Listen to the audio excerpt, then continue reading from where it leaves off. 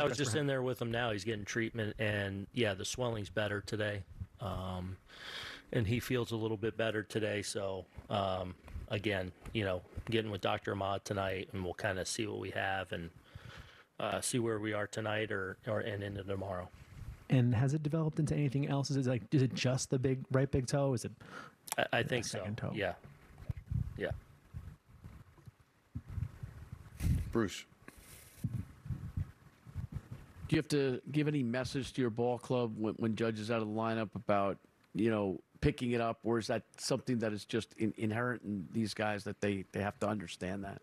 No, we, we expect to pick it up every day, whether Aaron's in there or not. Um, and this team, you know, has done a great job of just being really focused. Um, really for, for much most of the season. Um, I, I think that's one of the things I've been most pleased about with this group is is you know their preparedness and and their their kind of compete and grit every night. Uh, it's it's been what you want it to look like, and whether whether we've had a good game or or, or struggled in a game, like um, I feel like uh, guys are in the right frame of mind, really on a daily basis, and and that doesn't change no matter who's in the lineup. Gary.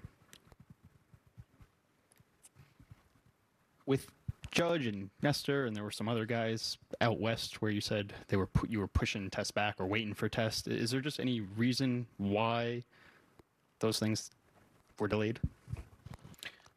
Yeah, because like for Greg Allen, like he was on the IL, nothing's changing. Um, so just getting the easier um, to get imaging or whatever you need to get done here.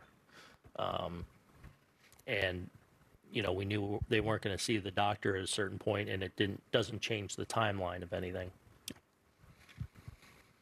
Bob and Eric.